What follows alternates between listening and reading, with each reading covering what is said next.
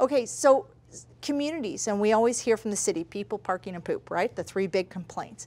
Um, because we're all different, but we need to come together in communities, what are some ways that people can navigate to create a better experience in their community for them? You have to find out what essence or what the difficulty is. As you mentioned, three, but there's a there's a number of other ones out there that are there. We have to kind of divide all of those, put them into segments, and find out which ones the city can look after, which ones the residents, if you have one association, can look after, and which ones the community association can help you with.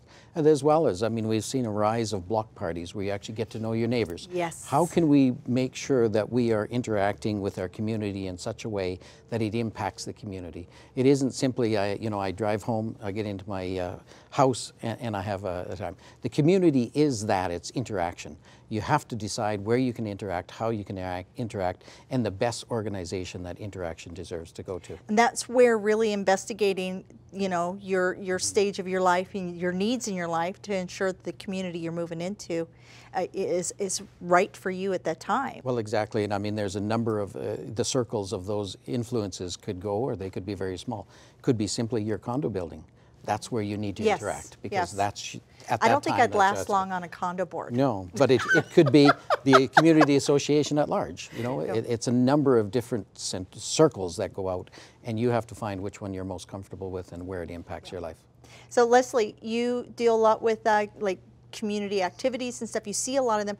What's kind of the latest thing that you're seeing that you think is kind of neat or cool or different? Like what's been coming up? I know that we've had people getting together making meals and things like that. You know, we have so many rich activities in this city.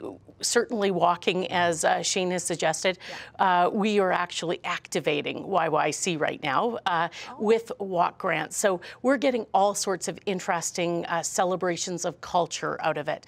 Uh, you know, just people getting out and being neighborly. And I would say say that's the first step to any sort of engagement. You know, sometimes our, our built form, the front car garages, uh, don't actually engage us with our neighbors like they used to. So it's really important that we make efforts to get to know our neighbors. And sometimes it takes a physical activity, um, maybe a little library, for example, to get people talking and to get people to understand the issues that are actually affecting them. Perhaps it's not dog poop in the park. Maybe it's the fact that people just don't know each other well enough. Uh, and, and so we would advocate that any activity that brings people together and creates that neighborly bond is actually strengthening the neighborhoods across Calgary. I, I, couldn't agree with you more. It's one of the reasons why we decided on the show that we wanted to do a feature every episode of, you know, a hidden gem park, places that we've forgotten that are there that we can go and walk to and walk around. Doesn't cost you any money, but you get out and you meet people, you greet people, you engage. So, you know what, you guys this is awesome. This is awesome. That's what we just need to tell everybody in Alberta, everybody in Calgary. Just get out, get to know your neighbors, talk to people, engage with people, be open, right? Okay, so real quick, you got 30 seconds. Positive words, something that we can instill with our viewers out there. When you look at a community, there's so many aspects to it, and you have to make sure within that community you have that. We've talked a little bit about built form, but today we're building communities with such a variety of built forms. Multifamily, single family, detached, front drive garages, uh, porches with lanes, as well as uh, commercial aspects in that community.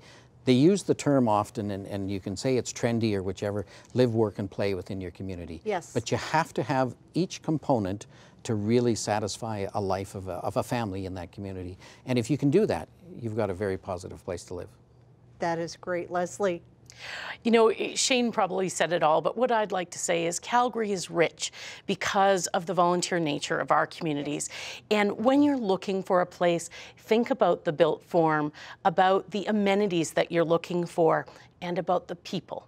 Uh, and the more diverse the community, the richer it's going to be. So, uh, you know, celebrate what we have here in Calgary, which is our community associations, check them out, uh, and at the same time, look at your needs and, and pick something that fits your family's current life.